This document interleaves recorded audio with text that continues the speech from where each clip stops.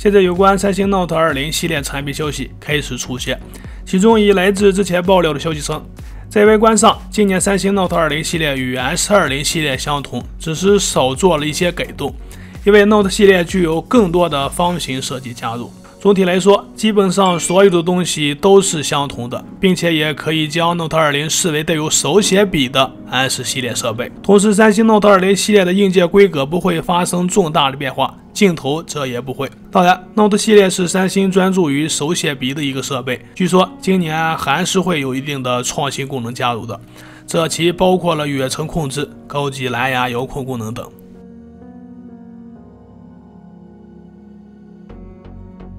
三星 Galaxy Note 20目前正在开发中，看起来它仅会提供起步为 128GB 的存储空间，而不是去年 Note 10和 Note 10 Plus 提供的起步为 256GB。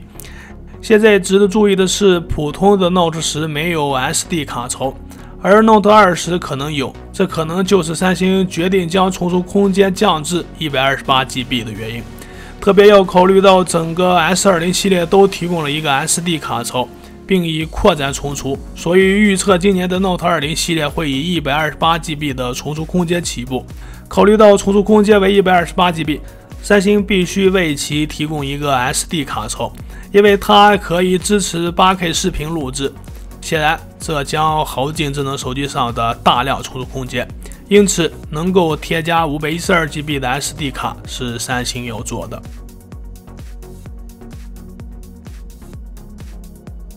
三星预计将于八月份推出新的旗舰 Note 20智能手机。目前，尽管已经过去四个月，但有关该设备的信息已经开始出现了。现在有泄露人士还透露了有关 Note 20设计的一些消息。以手机壳图像可见，手机外壳可以看到后置镜头模块保留了很大的巨型开孔，这意味着 Note 20系列具有与 S20 Ultra 相同的镜头阵列。同样，从照片中还可以看到，该设备的按键将在右侧。也可以说，Note 20的屏幕不会像以前的 Note 设备那样弯曲。该设备很可能使用接近方形边框，而且曲度很小。目前，该设备仍在开发中，还需更多的进一步确定它的设计方案。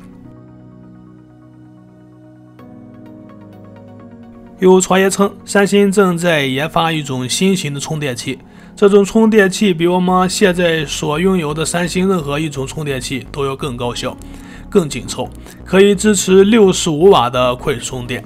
这款充电器定于今年晚些时候上市，最有可能在八月份与即将上市的三星 Note 20一同推出。该充电器采用了氮化镓技术，而不是目前使用的硅树脂。它将使用更少的零件，从而可以使充电器尺寸有所减小，同时具有更高的功率，以实现闪电般的快速充电。它们甚至还可以用来为更大的设备充电，例如平板电脑或者是笔记本电脑。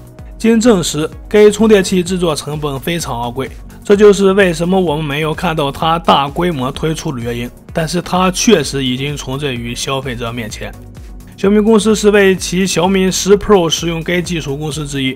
该产品带有五十瓦的充电器，可在四十五分钟内为智能手机的四千五百毫安电池充满电。既然这些充电器使用了更高的制造成本，几乎费用将会施加给用户。所以，这种更高端的充电器几乎不会出现在中端或者低端的产品中。三星则会在 Note 20上首次亮相其新充电器。